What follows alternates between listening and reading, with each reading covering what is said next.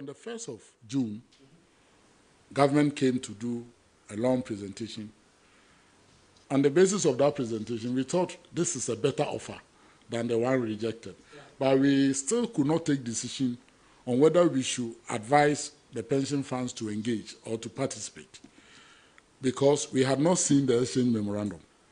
And once the exchange memorandum came and we assessed it, we met with the pe- uh, pension fund trustees, the Chamber of Corporate Trustees, and they said they have also done the analysis and they think that it is something that they are satisfied because uh, the new offer ensures that there is no loss in the patrimonial value.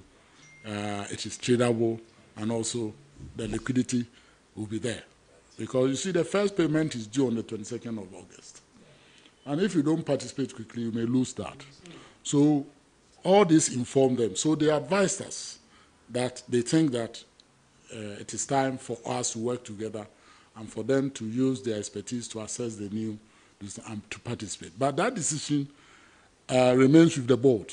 It is not TUC uh, or organized labor which which take that decision.